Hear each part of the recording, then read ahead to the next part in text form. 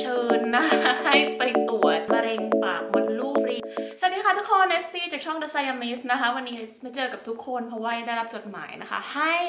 ไปตรวจมะเร็งปากมดลูกนะคะ จริงๆ อยู่มาก็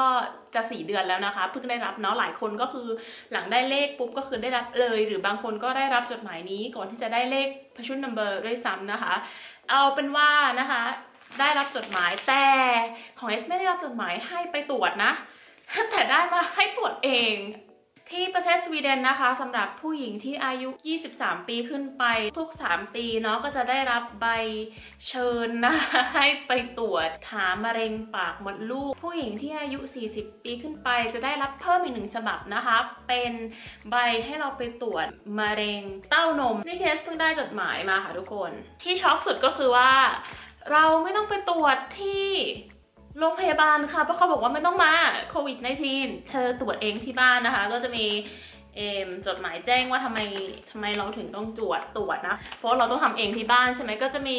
วิธีการนะคะ ว่าเราจะต้องทำยังไงบ้าง ตรวจปุ๊บควรจะส่งเลยนะคะ เพราะว่ามันจะได้เกิดความที่เขาเรียกอะไรอะ่ะมันจะได้ ยังสดใหม่อยู่นะ ตลกดีเหมือนกันนะเนี่ย นี่ค่ะทุกคนอันนี้คือคือหน้าตาของตัวเจ้าตัวที่เราจะใช้ในการตรวจนะคะ ก็จะมีตัวคัตเตอร์บัตยาวๆนะ เขาบอกว่าให้เราใช้ตัวนี้นะคะในการเออทำการเก็บเชื้อนะคะแล้วก็เรียบร้อยเราก็ตัดตรงตามรอยปรุนี่นะคะ แล้วก็ใส่ตัวเชื้อนะคะ ไปในขวดนี้นะ อ่าพอใส่ไปในขวดนี้ปุ๊บเขาก็จะมีตัวเลข version number ที่เป็นสติกเกอร์ให้เรานะคะ เราก็ติดแปะไปแล้วก็ใส่วันที่เราตรวจนะคะ เรียบร้อยก็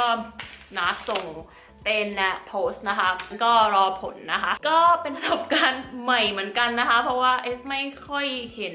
ใครแชร์เลยว่าได้ตรวจเองที่บ้านเนาะถ้าไม่มีโควิด อาจจะไปต้องนั่งตรวจเองที่บ้านนะคะ แต่เอสว่ามันก็ดีอย่างหนึ่งที่คือก็คือเราไม่ต้อง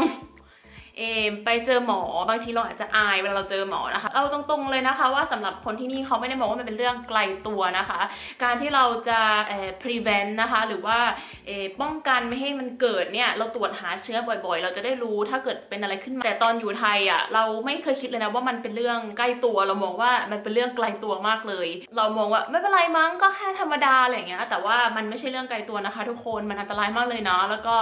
เอ ไม่ว่าจะอยู่ที่สวีเดนหรืออยู่ที่ไทยนะ จริง ๆ เราก็ควรจะต้องไปตรวจนะคะ